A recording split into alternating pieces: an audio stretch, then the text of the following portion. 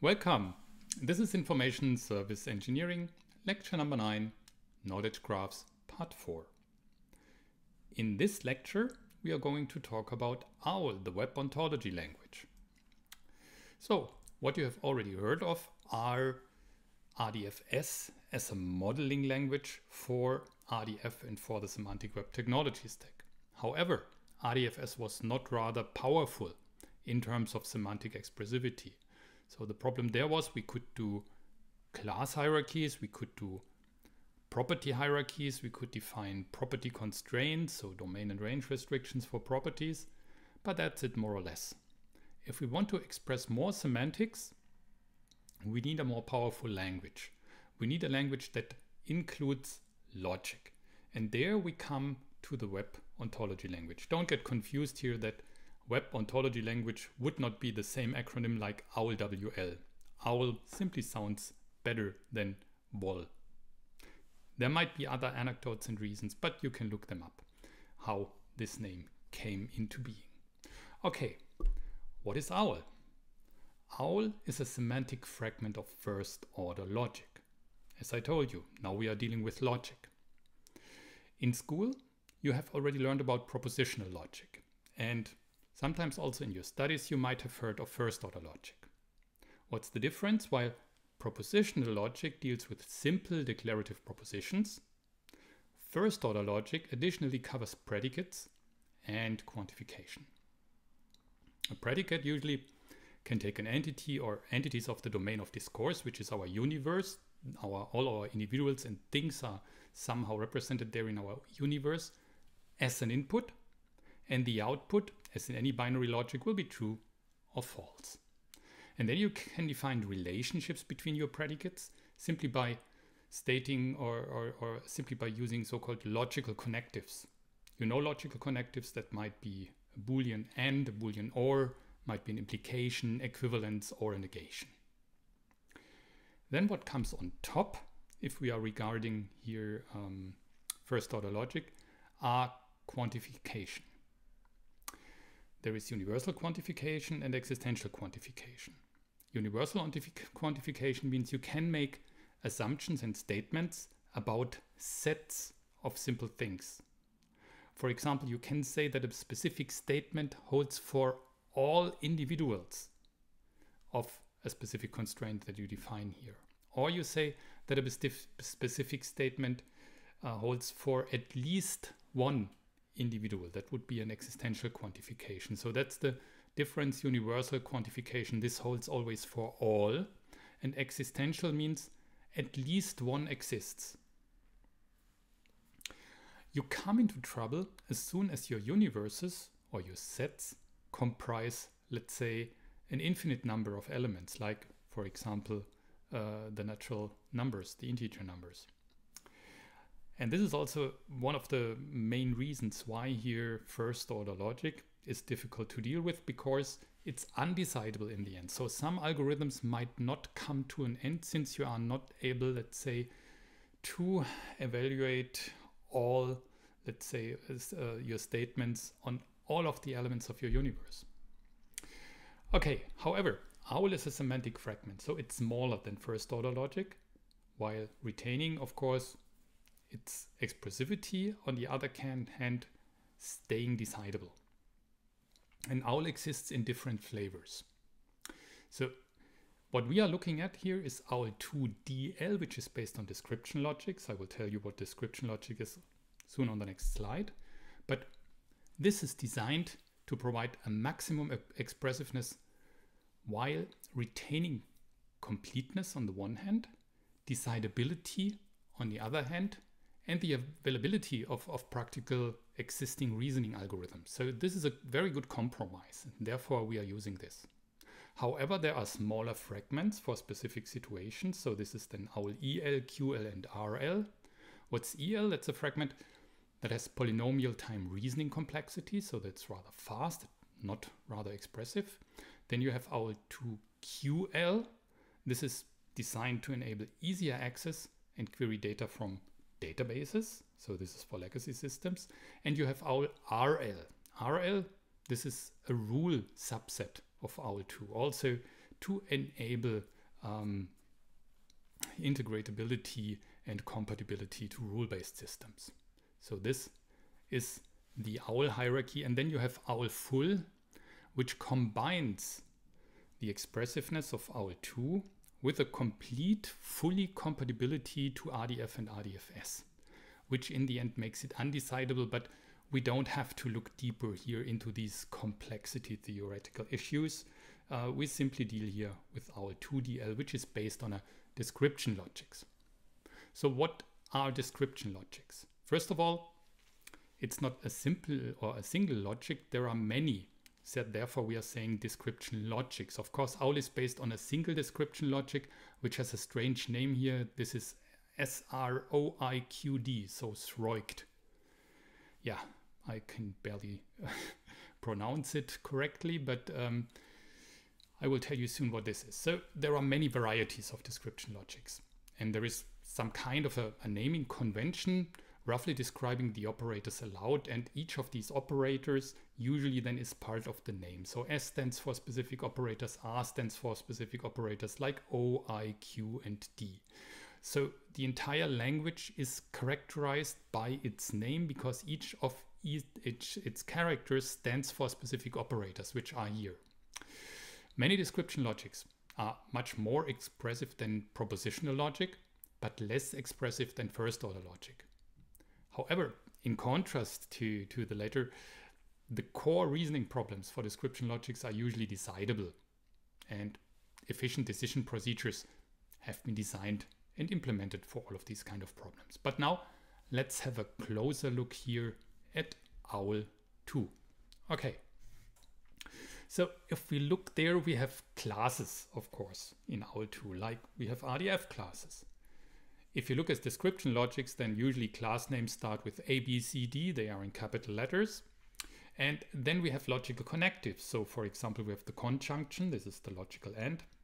Don't be confused that in description logics, you are not using, let's say, the usual AND operator that you might know from first order logic. You use here exactly these square kind of operators. So this is the conjunction, this is the disjunction, Negation looks like always, so this is negation of a class. And then you have um, existential and universal quantification. However, it's a bit more complicated like in first order logic, but we will explain this to you in detail. You restrict these kind of quantifiers a bit, therefore they stay decidable. So they are then less computationally complex, which of course is a nice thing. So there are lots of constructs. You have numeric kind of restrictions with upper and lower limits and bounds, and you can also uh, create so-called enumerated classes or numerals, which of course are defined by the class extension simply. You can define properties. Property names, that's also interesting in description logics. They are also capital letters. Now you might think, how do I dis uh, distinguish them? Yeah, usually their property names start with R RST and so on that are properties. And properties can be in the other direction, so you can define reverse properties and there is a universal property, but we don't have to go into detail about that. You will learn about everything you know, uh, uh, you have to know later on. For your T-box, you remember terminological knowledge, you have certain kind of axioms, so you can define so-called class inclusions. This is nothing else than the already known subclass relationships that we know from RDFS. And you de can define that two class expressions are equivalent. And there is the R box, which sometimes is, as here, um, represented in a distinct way from the T box. Sometimes it's part of the T box. So these are axioms for all of the properties. And here is property inclusion, which is the same as sub properties that we already know from RDFS you will see that we have a generalization of that, the so-called generalized inclusion or property path. So this is also really interesting. We will see this in the end of the lecture. And you can also um, demand properties to have specific, again, qualities. Like, for example, a property might be transitive, might be symmetric, might be reflexive or irreflexive. And of course, properties can also be disjunctive. Last thing for the A box, for the assertional knowledge, you can of course then say what does it mean that a class is member of another class or an individual is member of a class. So this is class membership. You can make property relation assumption, which means A and B individuals are combined via a specific property called R. You can do a negated property relation that A and B are not related via the property S.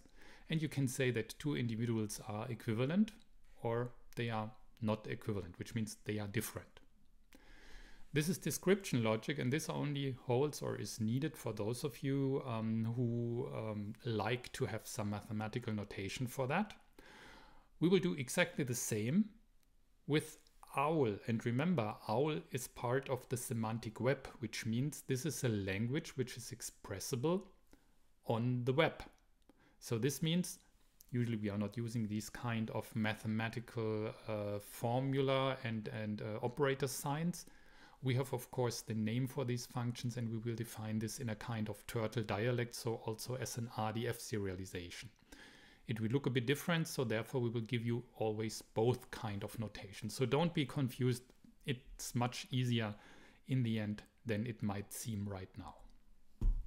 Okay, let's start with the beginnings. OWL building blocks. Okay, of course we need a namespace for OWL since we want to abbreviate all of um, the URIs we are usually using here. So therefore OWL colon, this is the namespace that we are using here. That's the prefix. And as I told you, there is a turtle syntax for OWL, which makes things easier. Main building blocks of OWL are classes. And of course they are comparable, not exactly the same, but comparable with RDFS. Then you have individuals, again, comparable with class instances of RDFS, and you have properties. They are also comparable with properties in RDFS. There are subtle differences, but for this lecture, we are not interested and we are not discussing exactly these kind of differences. However, in OWL, there exist predefined classes. Two of them, one is called OWL thing. This is so, so something like an upper class. So this is the top element in this hierarchy of classes. OWL thing is the class that contains all individuals that are defined in your universe. Which also means that every other class that you define is always a subclass of OWL thing. Uh, you can note this down also in uh, description logic notation that you see here. So this top symbol, this is OWL thing. And this is equivalent to a logical expression which would be any class C and with the union uh, of its complement, which mean its complement, of course, plus the class. If I create the union, this is the entire universe. So everything, every individual is contained in that. The opposite would be nothing, this is the empty class, and this is usually denoted here in a bottom sign, and this is equivalent to any class C intersected, so or uh, joined with a logical conjunction with its complement. And of course, since it's disjunctive, this is empty set, so this is the empty class. You have OWL thing and OWL nothing, and it comes quite handy. You will need this then for definitions later on. If I want to define an arbitrary class, class, I simply say that this thing, I define it greenhouse gas, is an OWL class.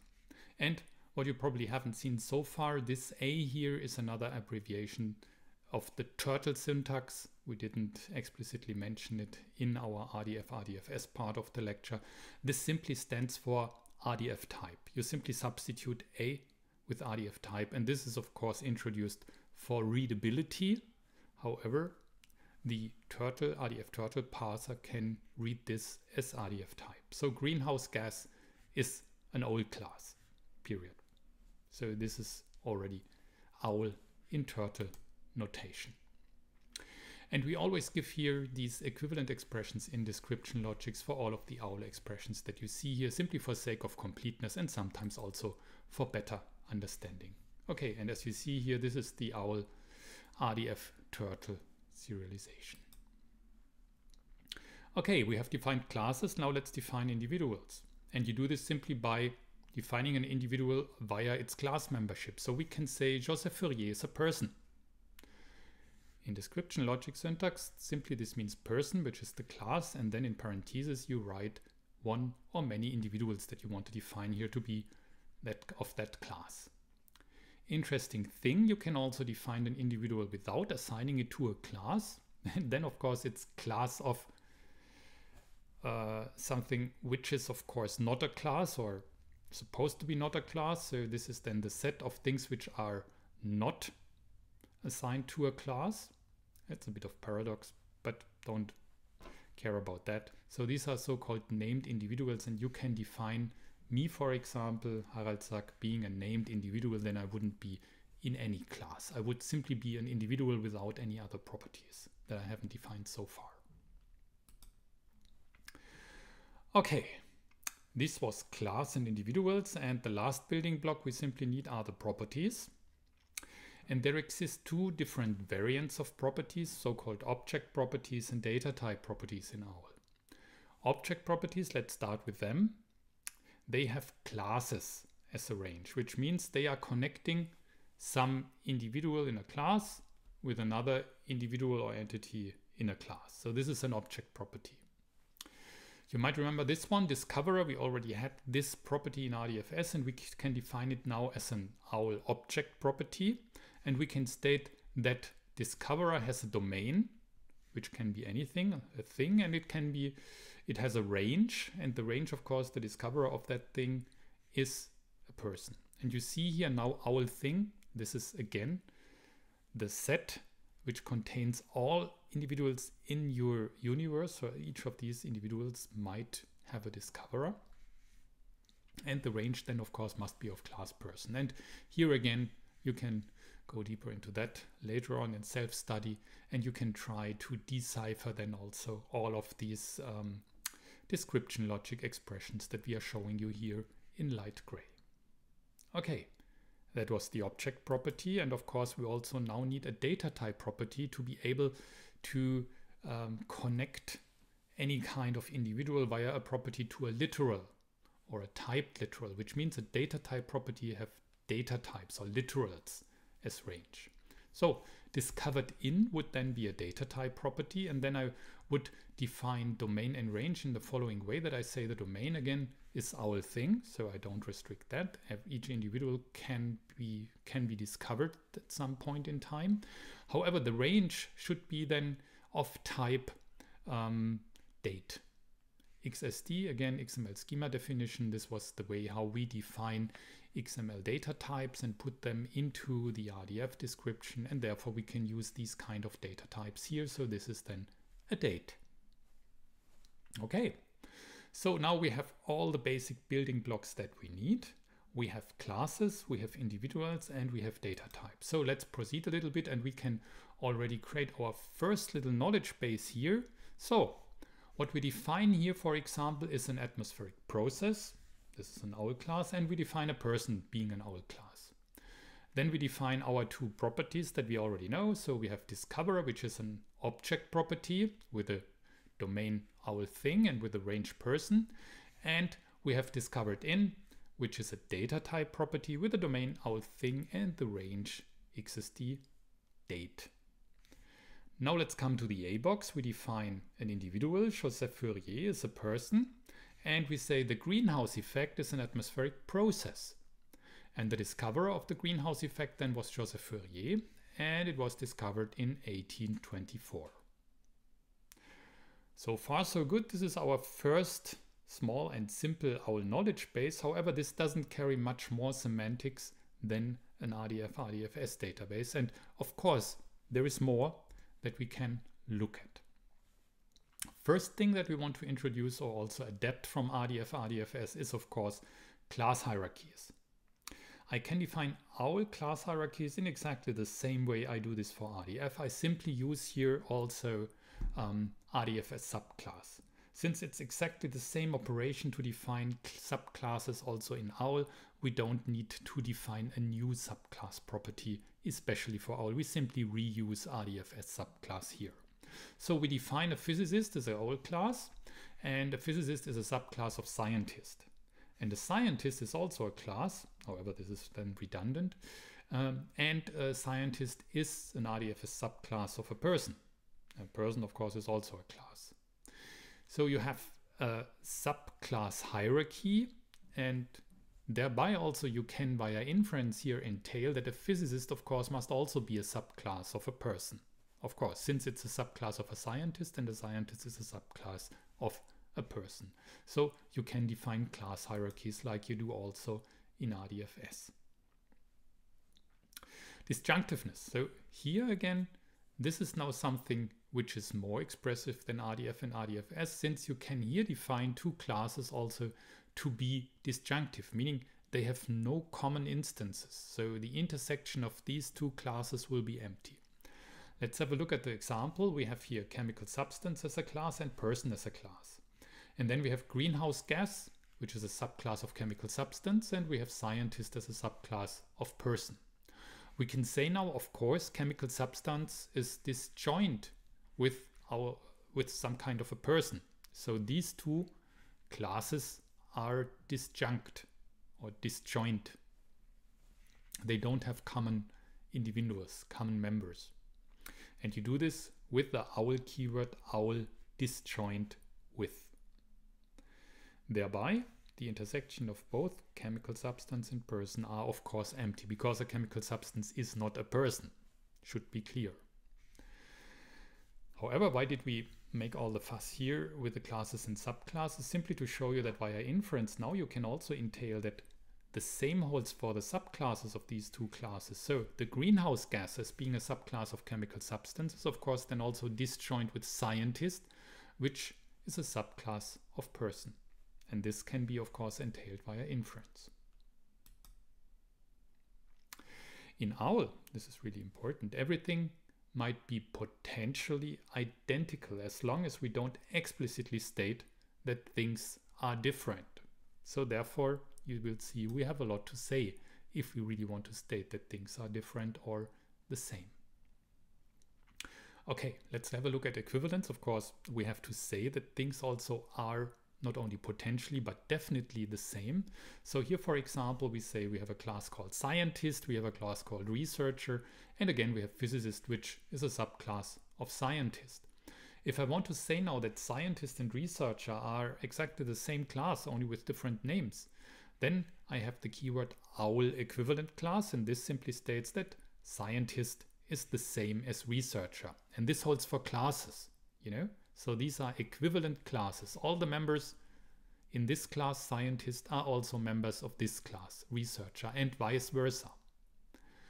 Via inference again, it can be entailed that a physicist, which is a subclass of scientist, then thereby also must be a researcher. So physicist also must be a subclass of researcher. So this is again logical inference with OWL.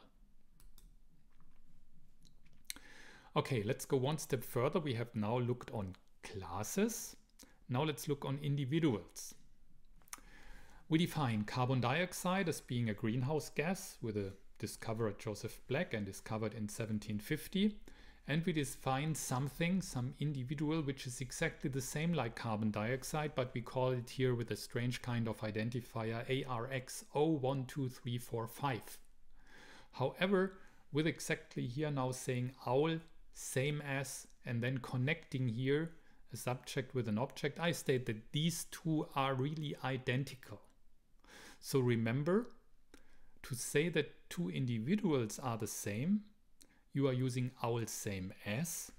However, to say that two classes are the same, you have to use owl equivalent class. So these are two different properties. Now, let's follow the example. We have now then a greenhouse gas, which is a class and it's a subclass of chemical substance. And via inference, we can of course now also entail that this here, ARX012345, must be a chemical substance since it's the same like carbon dioxide and carbon dioxide is a chemical substance since it's a greenhouse gas. Okay, and now the opposite. Of course, we also have to say something about two individual, individuals really being different, not only to be potentially different or identical, really to make it safe that they are different. I have to declare it.